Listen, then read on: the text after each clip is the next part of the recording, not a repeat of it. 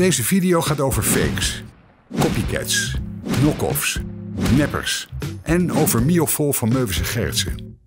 Want er wordt wat afgekopieerd vandaag de dag. Kijk, dit ziet eruit als een Rolls Royce, toch? Maar het is een Geely, een Chinese imitatie. En zo Wrigley's Dubimond nou net zo fris als Wrigley's Dubbelmint, ik durf het niet te proberen. En is S&M's iets voor een speciaal soort liefhebber of gewoon een ordinaire rip-off van M&M's? En waar zullen we koffie drinken? Bij Bugstar, Sunbugs of gezellig bij Starbucks? Al die fakes, copycats, knock-offs en neppers zijn op de markt omdat ondernemingen geld willen verdienen aan het succes van een ander. En dat ze worden gekocht wordt vooral veroorzaakt door onwetendheid en gemakzucht. En wat heeft dat te maken met Miofol? Miofol is het originele product, ontwikkeld op basis van wat er in de praktijk nodig is voor allerlei toepassingen. Topkwaliteit, bestaat al 50 jaar, groot succes. Dus het wordt nagemaakt.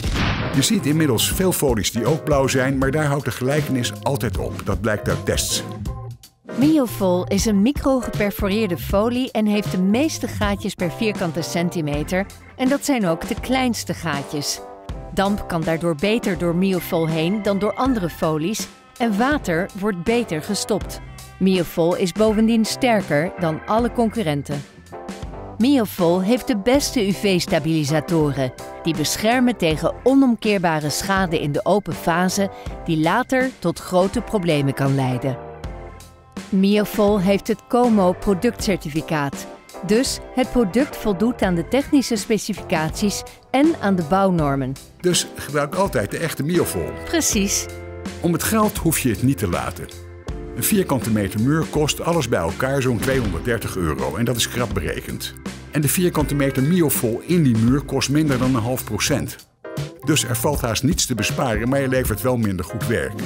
En dat kan heel veel kosten vanwege de BKB.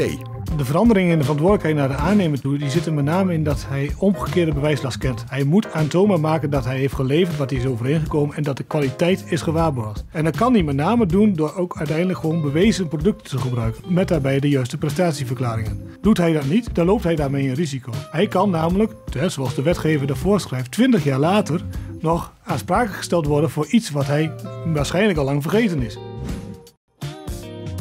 Ik hoop dat u het met me eens bent dat het verstandig is om altijd de echte Miofol te gebruiken in plaats van een cheap fake product. En dan gaan we weer, die man is fake.